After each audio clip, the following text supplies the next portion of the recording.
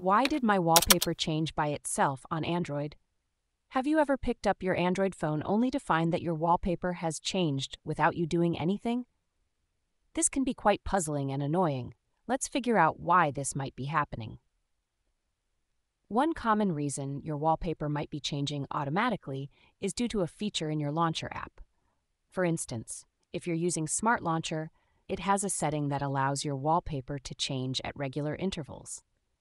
To check this, open Smart Launcher, go to the Preferences menu, and select the Wallpaper option. Here, you'll see if the Use Random Wallpapers feature is enabled. If it is, this could be the reason your wallpaper is changing. You can toggle this option off to stop the automatic changes. However, note that this feature is available only in the Smart Launcher Pro version. Another possibility is that a different launcher app might be causing the issue. For example, some users have reported that Microsoft Launcher, even when not set as the default launcher, can still change the wallpaper.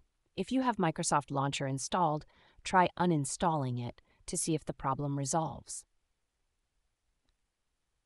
Your phone's settings could also be the culprit. Sometimes modes or routines set on your phone can change your wallpaper automatically.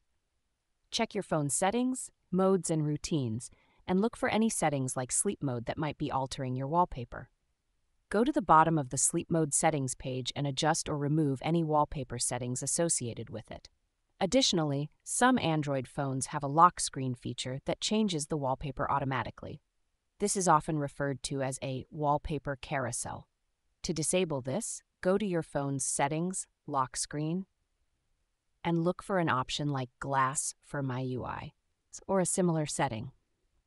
Turning this off should stop the automatic wallpaper changes on your lock screen. In some cases, the issue might be related to the default wallpapers that came with your phone. If you've set your own pictures or other wallpapers but they keep changing back to the default ones, it could be a glitch or a setting that needs to be adjusted. Try setting the wallpaper directly from your launcher instead of from your gallery or any other app. By checking these settings and adjusting them accordingly, you should be able to stop your wallpaper from changing automatically and keep the one you prefer.